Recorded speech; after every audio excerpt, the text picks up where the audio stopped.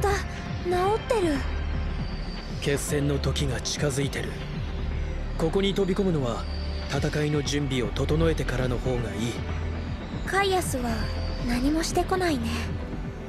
あいつが敵だって決まったわけじゃないけど。静かすぎるのが気になる。あいつが攻める前は殺気が消えるんだ。嵐の前に風が止まるみたいにもしバルハラにいるなら俺たちのことをじっと観察してる。弱みを見せれば容赦なく一気に仕留めに来る。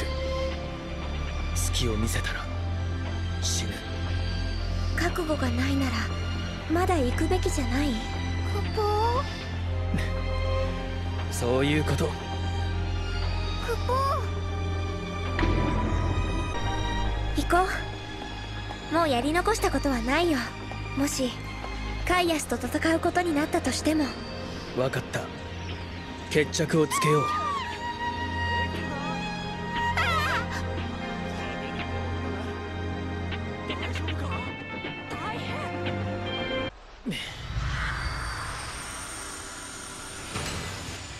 黙っていくつもりですか？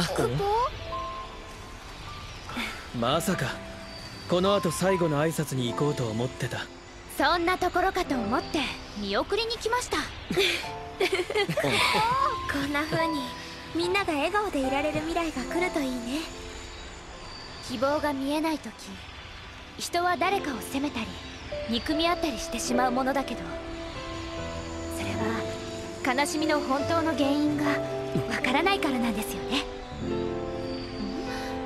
先輩何ですか？その顔は。違うよ思い出してたんだよ。僕が昔憎しみで自分を見失った時道を示してくれた仲間のことを。クポお姉ちゃんとスノー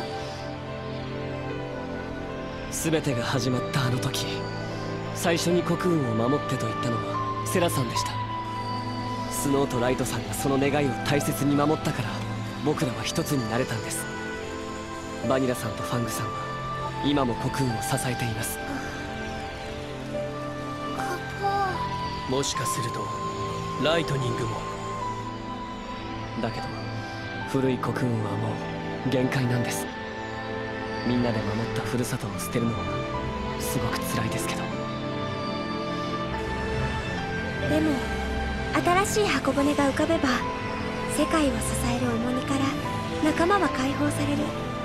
その時クリスタルになったバニラたちを救い出せるかもしれない。先輩。古いコクーンを諦めることになった時内心これで仲間を助けられるかもしれないって思ってましたよね。みんな知ってて協力したんです。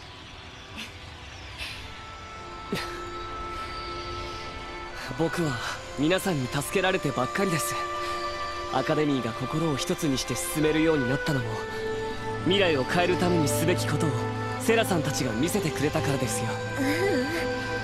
ううん。道に迷ってもうダメかもって何度も思ったよ。過ちを繰り返すのが人間。でも新しい道を見つけることができるのも人間なのさ。同意見です。先に言われてしまいました 準備が終わったら僕らは100年後に向かうつもりです。コクーン打ち上げの瞬間をこの目で見届けたいですから。きっとまた会えるね。次会う時はライトニングも一緒だな。じゃあ笑顔でお別れね。新しい未来のために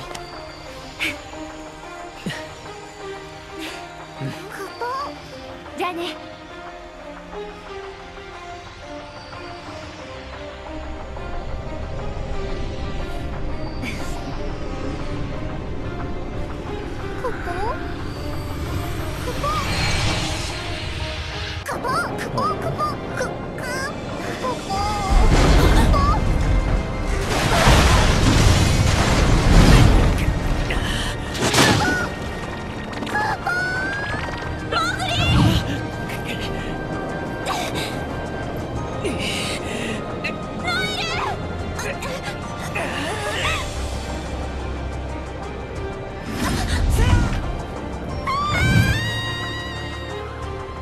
ごめんなさい。あなたたちの新しい未来に私は存在できないから。おやすみなさい。